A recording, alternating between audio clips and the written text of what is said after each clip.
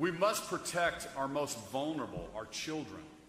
After all, minors can't vote, can't purchase alcohol, can't purchase cigarettes.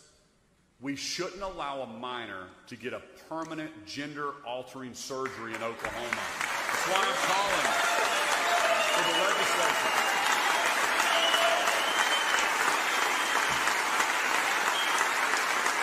A few moments later.